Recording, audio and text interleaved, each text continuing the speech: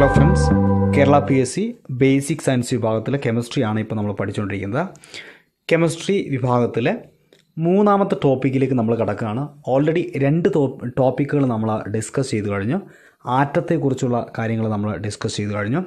രണ്ടാമത്തെ അധ്യായത്തിൽ മോളിക്കൂൾ അല്ലെങ്കിൽ മോൾ സങ്കല്പവുമായി ബന്ധപ്പെട്ടുള്ള കാര്യങ്ങൾ ഡിസ്കസ് ചെയ്തു കഴിഞ്ഞു. ഇനി നമ്മൾ മൂന്നാമത്തെ സെഷനിലേക്ക് വരികയാണ്. ഇവിടെ നമ്മൾ പഠിക്കുന്നത് ഇലമെൻസുകളെ കുറിച്ചാണ് മൂലകങ്ങളെ കുറിച്ചാണ്. ഇത് കഴിഞ്ഞ് നമ്മൾ തൊട്ടടുത്ത അധ്യായത്തിൽ പീരിയഡിക് ടേബിളുമായിട്ട് ബന്ധപ്പെട്ടുള്ള കാര്യങ്ങൾ പഠിക്കും. പീരിയഡിക് ടേബിൾ വളരെ പ്രധാനപ്പെട്ട ഒരു ഏരിയ ആണ്. അപ്പോൾ അതിന് മുന്നോടിയായിട്ട് പീരിയഡിക് ടേബിളിലേക്ക് പോകുന്നതിന് മുമ്പ് നമ്മൾ ഇലമെൻസ് എന്താണ്? എന്നതിനെ എന്നതിനെക്കുറിച്ചൊരു ധാരണ വളരെ അത്യാവശ്യമാണ്. മാത്രമല്ല ഈ ഇലമെൻസ് എന്ന് പറയുന്ന ഈ ഭാഗത്തു നിന്ന് ധാരാളം ക്വസ്റ്റ്യൻസ് അത് പലതും ജനറൽ നോളേജ് ക്വസ്റ്റ്യൻസ് ആണ്. അപ്പോൾ ഒരുപാട് ജനറൽ നോളേജ് ക്വസ്റ്റ്യൻസ് ഉൾക്കൊള്ളുന്ന ഒരു മേഖല കൂടിയാണ് ഈ ഇലമെൻസ് എന്ന് പറയുന്നത്. അപ്പോൾ ഇവിടെ നമുക്ക് പഠിക്കേണ്ട അടിസ്ഥാനപരമായിട്ടുള്ള ജനറൽ ആയിട്ടുള്ള കുറേ കാര്യങ്ങളുണ്ട്. ഇതാണ് നമ്മളിവിടെ ഡിസ്കസ് ചെയ്യുന്നത്. ഇതിൽ മിക്കതും പി വൈ ക്യൂസ് ആണ് എന്നുള്ളത് കൂടി ഓർക്കുക. ഓക്കെ അപ്പോൾ ഈ ഭാഗത്തെ ഇലമെന്റിന്റെ മൂലകങ്ങളുടെ ഭാഗത്തെ പാർട്ട് വൺ പാർട്ട് ടു എന്ന് തിരിച്ചിരിക്കുകയാണ്. ഈ വീഡിയോയിൽ നമ്മളിതിന്റെ ഏറ്റവും ബേസിക് ആയിട്ടുള്ള കുറച്ച് കാര്യങ്ങളും ഇനി പാർട്ട് ടൂവിൽ ചില പ്രത്യേക മൂലകങ്ങളെ പ്രത്യേകമായി തന്നെ പരിഗണിച്ചുകൊണ്ടുള്ള ഒരു പഠനവുമാണ്. ഓക്കെ അപ്പോൾ ഈ ആദ്യ ഭാഗവും അതുകൊണ്ട് അത് തൊട്ടടുത്ത ദിവസം വരുന്ന രണ്ടാമത്തെ ഭാഗവും കാണുക. അപ്പോൾ ഇലമെൻസുകളുമായി ബന്ധപ്പെട്ട് നമുക്ക് പഠിക്കാനുള്ളത് മൂലകവുമായി ബന്ധപ്പെട്ട് പഠിക്കാനുള്ളത് എന്തൊക്കെയാണെന്ന് നോക്കാം. ഇവിടെ നമുക്ക് ഡീറ്റെയിൽ ആയിട്ട് സ്റ്റഡി എന്ന് പറയാനില്ല പക്ഷേ പോയിന്റുകളാണ് പഠിക്കാനുള്ളത്. ഒരേ എണ്ണം പ്രോട്ടോണുകളുള്ള അണുക്കൾ മാത്രം അടങ്ങിയിരിക്കുന്ന ശുദ്ധമായ രാസപദാർത്ഥമാണ് മൂലകം എന്ന് പറയുന്നത്. ഒരു മൂലകം എന്ന് പറയുന്നത് ഒരേ എണ്ണം പ്രോട്ടോണുകളുള്ള ഒരേ എണ്ണം പ്രോട്ടോണുകളുള്ള അണുക്കൾ മാത്രം അടങ്ങിയിരിക്കുന്ന ശുദ്ധമായ രാസപദാർത്ഥമാണ്. അപ്പോൾ മൂലകം ഒരു ഇലമെന്റ് എന്ന് പറഞ്ഞാൽ ശുദ്ധമാണ്. നമ്മളിതിന് മുമ്പ് മോളിക്യൂൾസിനെ കുറിച്ച് പഠിച്ചിട്ടുണ്ട് അല്ലേ? മോളിക്യൂൾസ് കോമ്പൗണ്ടുകളൊക്കെ ഉണ്ട്.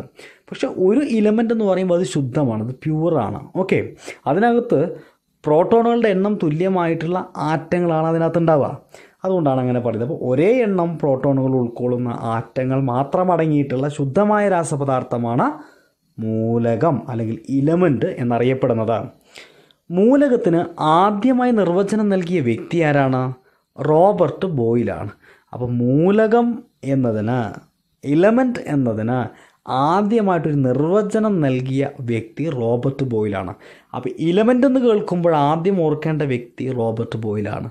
മൂലകമെന്ന് കേൾക്കുമ്പോൾ ആദ്യം ഓർക്കേണ്ട വ്യക്തി റോബർട്ട് ബോയിലാണ്. അടുത്ത പോയിന്റിലേക്ക് വരാം. മൂലകങ്ങൾ ആറ്റങ്ങളാൽ നിർമ്മിതമാണെന്ന് ആദ്യം തെളിയിച്ചതാരാണ്? മൂലങ്ങൾ മൂലകങ്ങൾ ആറ്റങ്ങളാൽ നിർമ്മിതമാണെന്ന് ആദ്യം തെളിയിച്ചത് സ്വാഭാവികമായിട്ടും നമ്മൾ ആറ്റത്തെക്കുറിച്ച് പഠിച്ചപ്പോൾ ജോൺ ഡാൾട്ടനെ കുറിച്ച് പഠിച്ചിട്ടുണ്ട് അല്ലേ ഓക്കെ അപ്പോൾ അറ്റോമിക് തിയറിയൊക്കെ നമ്മൾ പഠിച്ചതാണ്. അപ്പോൾ മൂലകങ്ങൾ ആറ്റങ്ങളാൽ നിർമ്മിതമാണെന്ന് ആദ്യം തെളിയിച്ചത് യാതൊരു സംശയവുമില്ല. അപ്പോൾ നമുക്ക് മനസ്സിലേക്ക് ഓടി വരേണ്ട പേര് ജോൺ ഡാൾട്ടനാണ് അപ്പോൾ ജോൺ ഡാൾട്ടനും റോബർട്ട് ബോയിലും പ്രധാനപ്പെട്ട രണ്ട് പേരുകളാണ്. മൂലകങ്ങളെക്കുറിച്ച് പറയുമ്പോൾ മൂലകത്തിന് ആദ്യമായി നിർവചനം നൽകിയത് ബോയിലാണെങ്കിൽ മൂലകം ആറ്റങ്ങളാൽ നിർമ്മിതമാണെന്ന് തെളിയിച്ചത് ജോൺ ഡാൾട്ടനാണ്. അടുത്ത പോയിന്റ്. മൂലകങ്ങളെ ലോഹങ്ങളും അലോഹങ്ങളുമായി വേർതിരിച്ച ശാസ്ത്രജ്ഞനാണ് ലവോസിയ. ആന്റോയിൻ ലവോസിയർ ആണ് മൂലകങ്ങളെ ലോഹങ്ങളും അലോഹങ്ങളുമായിട്ട് വേർതിരിച്ചത്. ലോഹങ്ങളും അലോഹങ്ങളും. വളരെ പ്രധാനപ്പെട്ട ഒരു കാര്യമാണത്. മൂലകങ്ങളെ ലോഹങ്ങൾ അലോഹങ്ങളുമായിട്ട് വേർതിരിച്ചാൽ എൻഡോയിൻ ലവോസിയറാണ് പോയിന്റ് ഓർത്ത് വയ്ക്കണം അടുത്ത പോയിന്റ് ഏറ്റവും സ്ഥിരത കൂടിയ മൂലകം ഏതാണ്? ഏറ്റവും സ്ഥിരത സ്റ്റെബിലിറ്റി കൂടിയിട്ടുള്ള മൂലകം എന്ന് പറയുന്നത് ലെഡാണ് അടുത്തത് ഏറ്റവും കൂടുതൽ സംയുക്തങ്ങൾ ഉണ്ടാക്കുന്ന മൂലകങ്ങൾ ഏതൊക്കെയാണ്? ഏറ്റവും കൂടുതൽ സംയുക്തങ്ങൾ ഉണ്ടാക്കുന്ന മൂലകങ്ങൾ ഒന്ന് കാർബണും മറ്റൊന്ന് ഹൈഡ്രജനുമാണ്. കാർബണും ഹൈഡ്രജനുമാണ്. ഏറ്റവും കൂടുതൽ ഐസോടോപ്പുകളുള്ള മൂലകം ഏതാണ്? ഏറ്റവും കൂടുതൽ ഐസോടോപ്പുകളുള്ളത് ടിന്നും ഏറ്റവും കുറവ് ഐസോടോപ്പുള്ളത് ഹൈഡ്രജനുമാണ്. ടിന്നിന് പത്ത് ഐസോടോപ്പ് ഉണ്ട് ഹൈഡ്രജന് മൂന്ന് ഐസോടോപ്പ് ഉണ്ട് ഐസോട്ടോപ്പുകളെ കുറിച്ച് നമ്മൾ പിന്നീട് പഠിക്കുന്നുണ്ട്. അതുകൊണ്ട് ചില പോയിന്റുകൾ ആ ഭാഗത്ത് നിന്ന് നമുക്ക് പഠിക്കാനുണ്ട്. ഓക്കെ അപ്പോൾ എന്തായാലും ഈ ഒരു ബേസിക്കായ കാര്യം ഓർത്ത് വയ്ക്കുക ഏറ്റവും കൂടുതൽ ഐസോടോപ്പ് ഉള്ള മൂലകം എന്ന് പറയുന്നത് ടിന്നാണ്. ഏറ്റവും കുറവ് ഐസോടോപ്പുകളുള്ള മൂലകം ഹൈഡ്രജനാണ്. ഓക്കെ ഇനി അടുത്ത പോയിന്റിലേക്ക് വരാം. പ്രപഞ്ചത്തിൽ ഏറ്റവും കൂടുതൽ കാണപ്പെടുന്ന മൂലകം ഏതാണ്? ഇതൊക്കെ പി വൈ ക്യൂസ് ആണ് കേട്ടോ മുമ്പ് പരീക്ഷയ്ക്ക് ചോദിച്ചിട്ടുണ്ട്. മുമ്പ് ഒരു തവണയല്ല ഒരുപാട് തവണ ചോദിച്ചിട്ടുണ്ട്. പ്രപഞ്ചത്തിൽ ഏറ്റവും കൂടുതൽ കാണപ്പെടുന്ന മൂലകം ഹൈഡ്രജനാണ് പ്രപഞ്ചത്തിൽ ഏറ്റവും കൂടുതൽ കാണപ്പെടുന്ന രണ്ടാമത്തെ മൂലകം ഹീലിയമാണ് ശ്രദ്ധിക്കുക.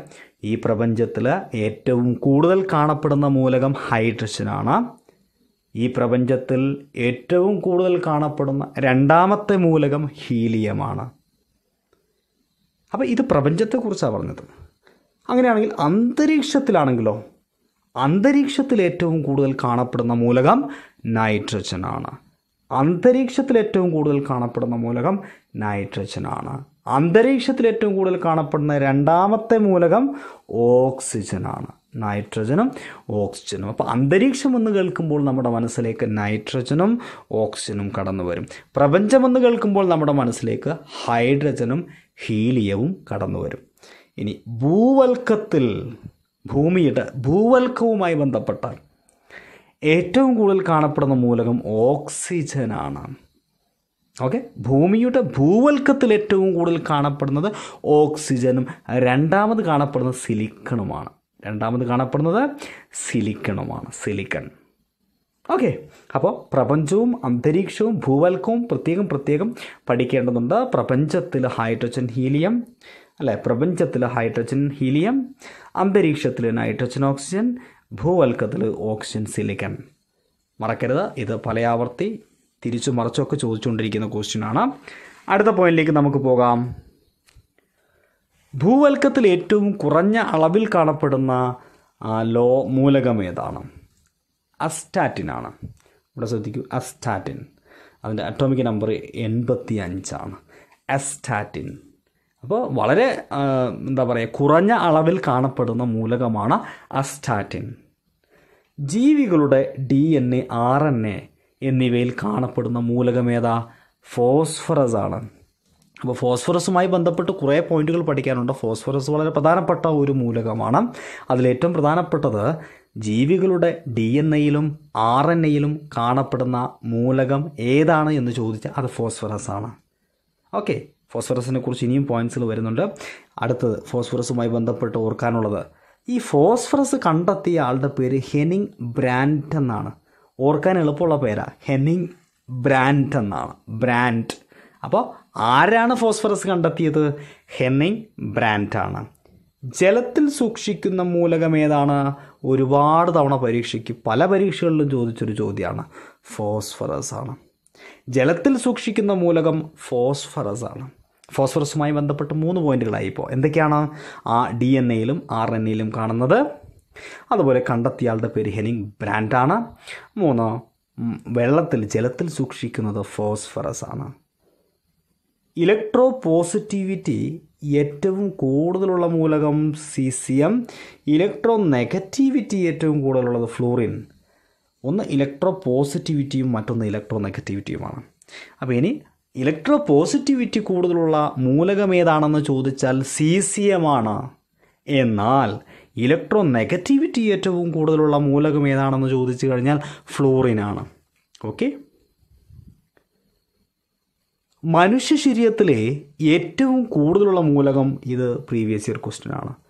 മനുഷ്യന്റെ ശരീരത്തിൽ ഏറ്റവും കൂടുതലുള്ള മൂലകം ഓക്സിജനാണ് ഇലക്ട്രോൺ അഫിനിറ്റി അതായത് ഇലക്ട്രോൺ അഫിനിറ്റി ഏറ്റവും കൂടുതലുള്ള മൂലകം ക്ലോറിനാണ്. ഒന്ന് സൂക്ഷിക്കണം. ഇലക്ട്രോൺ അഫിനിറ്റി ഏറ്റവും കൂടുതലുള്ളത് ക്ലോറിനാണ്.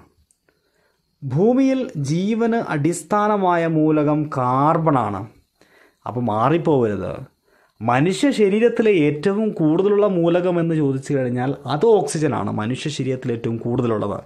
പക്ഷേ ഭൂമിയിൽ ജീവന്റെ ആധാരമായിട്ടുള്ള ജീവന്റെ അടിസ്ഥാനമായിട്ടുള്ള മൂലകം ഏതാണ് എന്ന് ചോദിച്ചാൽ അത് കാർബണാണ്. കാർബൺ. ഓക്കെ. സൗരസെൽ സൗരസെൽ നമ്മുടെ ഈ സോളാർ സെൽ ഉണ്ടല്ലോ. അതിന്റെ നിർമ്മാണത്തിന് ഉപയോഗിക്കുന്ന മൂലകം അത് സിലിക്കനാണ് നമുക്കറിയാവുന്ന ഒരു കാര്യം അത്. ഏറ്റവും ഭാരം കൂടിയ പ്രകൃതിദത്ത മൂലകം ഏതാണ്? യുറേനിയമാണ്. ഏറ്റവും ഭാരം കൂടിയ പ്രകൃതിദത്ത മൂലകമാണ് യുറേനിയം.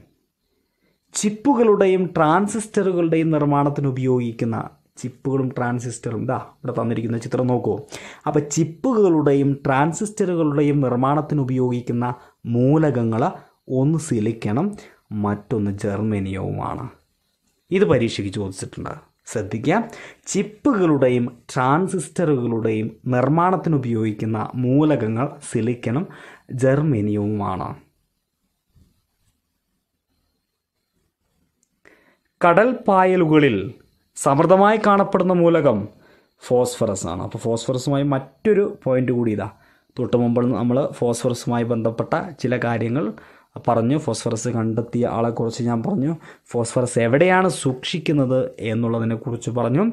അതുപോലെ ഡി എൻ എയിലും ആർ എൻ എയിലും അടങ്ങിയിരിക്കുന്നതുമായി ബന്ധപ്പെട്ട ചില കാര്യങ്ങൾ പറഞ്ഞു. ഓക്കെ അപ്പോൾ കടൽ പായലുകളിൽ സമൃദ്ധമായി കാണപ്പെടുന്ന മൂലകം ഏതാണ്?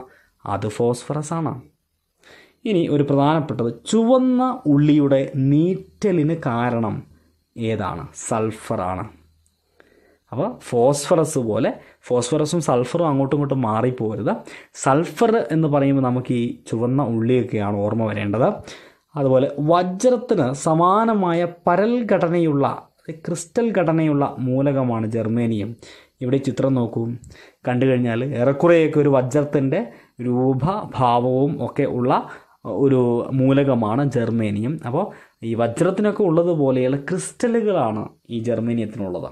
അപ്പോൾ ഇതാണ് ജർമേനിയം ഓക്കെ. റേഡിയോ ആക്ടിവിറ്റി ഏറ്റവും കൂടുതലുള്ള മൂലകം റെഡോൺ ആണ്. ഇത് പ്രീവിയസ് ഇയർ ക്വസ്റ്റ്യൻ ആണ്. റേഡിയോ ആക്ടിവിറ്റി ഏറ്റവും കൂടുതലുള്ള മൂലകം ഏതാണ്? റെഡോൺ ആണ്. നീന്തൽ കുളങ്ങൾ ശുദ്ധീകരിക്കുന്നതിന് അനുനാശിനിയായിട്ട് ഉപയോഗിക്കുന്നത് ക്ലോറിൻ ആണ്. ക്ലോറിൻ അതെല്ലാവർക്കും അറിയാവുന്നതാണ്. അത് നമ്മുടെ ഡെയിലി ജീവിതവുമായിട്ട് ഡെയിലി ലൈഫുമായിട്ട് ബന്ധപ്പെട്ട അല്ലെങ്കിൽ ഡെയിലി കെമിസ്ട്രിയുമായി ബന്ധപ്പെട്ട ഒരു ചോദ്യമായിരുന്നു. അടുത്തത്. പുകയിലയിൽ നേരിയ തോതിൽ അടങ്ങിയിരിക്കുന്ന റേഡിയോ ആക്റ്റീവ് മൂലകം പൊളോണിയം. പുകയില പൊളോണിയം ഓർക്കാൻ എളുപ്പമാണ്. പുകയിലയിൽ നേരിയ തോതിൽ അടങ്ങിയിരിക്കുന്ന റേഡിയോ ആക്റ്റീവ് മൂലകം പൊളോണിയം പൊളോണിയം. അടുത്ത ചോദ്യം.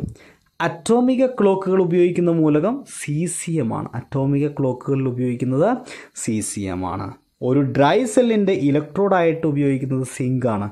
ശ്രദ്ധിക്കണം ഇലക്ട്രോഡായിട്ട് ഉപയോഗിക്കുന്നത് നമ്മുടെ സാധാരണ ഡ്രൈ സെല്ലെന്ന് പറഞ്ഞാൽ നമ്മുടെ ബാറ്ററികളിൽ പുറമേ കാണുന്ന ഈ പാളി ഉണ്ടല്ലോ. അതായത് ഇലക്ട്രോഡായിട്ട് ഉപയോഗിക്കുന്നത് അതാണ് സിങ്ക് എന്ന് പറയുന്നത്. ഓക്കെ. സിങ്ക്. ഉള്ളിൽ ഉപയോഗിക്കുന്ന എന്താണ്? ഉള്ളിൽ ഉപയോഗിക്കുന്നത് അതിന്റെ സ്ട്രക്ചറും മറ്റു കാര്യങ്ങളൊക്കെ നിങ്ങൾക്കറിയുമായിരിക്കും. അപ്പോൾ ഇവിടെ എന്താണ് ഇപ്പോൾ ചോദിച്ച ചോദ്യം ഇതാണ് ഒരു ഡ്രൈ സെല്ലിന്റെ ഇലക്ട്രോഡ് ഏതാണെന്നാണ് ചോദിച്ചിരിക്കുന്നത് ഇലക്ട്രോഡായിട്ട് യൂസ് ചെയ്യുന്നത് സിങ്കാണ് റബ്ബറിന്റെ കാഠിന്യം കൂട്ടുവാൻ ഉപയോഗിക്കുന്ന മൂലകമാണ് സൾഫർ റബ്ബറിന്റെ കാഠിന്യം കൂട്ടുവാൻ. അതിനൊരു പേരുണ്ട് അതാണ് വൾക്കനൈസേഷൻ റബ്ബറിന്റെ കാഠിന്യം കൂട്ടുന്ന കൂട്ടാൻ വേണ്ടി സൾഫർ ചേർക്കുന്ന ആ പ്രക്രിയയ്ക്ക് പറയുന്ന പേരാണ് വൾക്കനൈസേഷൻ വൾക്കനൈസേഷൻ അപ്പോൾ റബ്ബറിന്റെ കാഠിന്യം കൂട്ടാൻ വേണ്ടി ഉപയോഗിക്കുന്ന മൂലകമാണ് ഏത്? സൾഫർ മറക്കരുത്. സൾഫർ എന്ന് കേൾക്കുമ്പോൾ ഓർമ്മ വരേണ്ട കാര്യങ്ങൾ നേരത്തെ പറഞ്ഞ ചുവന്ന ഉള്ളി മുതൽ ഈ പറഞ്ഞ റബ്ബറിന്റെ കാഠിന്യം വരെയുള്ള കാര്യങ്ങൾ ഓർക്കുക. അടുത്തത്.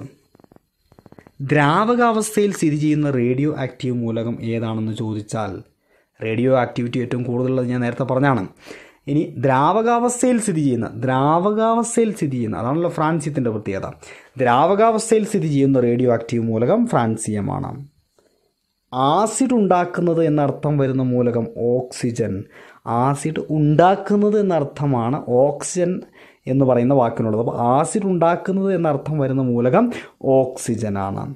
ഓക്സിജനും ഹൈഡ്രജനും ആ പേര് നൽകിയത് ലവോസിയർ എൻഡോയിൻ ലവോസിയർ. ഓക്സിജനും ഹൈഡ്രജനും. ഇതാ ഇവിടെ ഈ ചിത്രം ശ്രദ്ധിച്ചാൽ തന്നെ നിങ്ങൾക്ക് ആ സംഗതി നിങ്ങളുടെ ഓർമ്മയിൽ നിൽക്കും. ഇത് ലവോസിയറാണ്. അൻഡോയിൽ ലവോസിയറുടെ പിക്ചറാണ് ഇവിടെ ഒരു ഓക്സിജനും ഒരു ഹൈഡ്രജനും ഉണ്ട്. അപ്പോൾ ഓക്സിജനും ഹൈഡ്രജനും ആ പേര് നൽകിയ വ്യക്തിയുടെ പേര് ലവോസിയറാണ് ഈ ചിത്രം ഒന്ന് മിഴി തുറന്ന് നോക്കിയാൽ നിങ്ങൾക്കിത് ഓർമ്മയിൽ നിൽക്കുന്നതേ ഉള്ളൂ. ഇത് ലവോസിയറാണ് അൻഡോയിൻ ലവോസിയറാണ് ഓക്സിജനാണ് ഹൈഡ്രജനാണ് അപ്പോൾ ഓക്സിജന്റെയും ഹൈഡ്രജന്റെയും ആ പേരുകൾ നൽകിയ ആളുടെ പേര് ലവോസിയർ എന്നാണ്. അൻഡോയിൻ ലവോസിയർ എന്നാണ്.